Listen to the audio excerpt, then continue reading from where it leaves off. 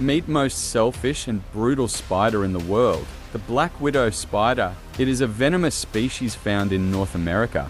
Shocking fact about black widow spiders is that the female may sometimes cannibalize the male after mating. This behavior, known as sexual cannibalism, occurs when the female consumes the male for nourishment. While not all instances result in cannibalism, it is a notable behavior exhibited by some black widow spider populations.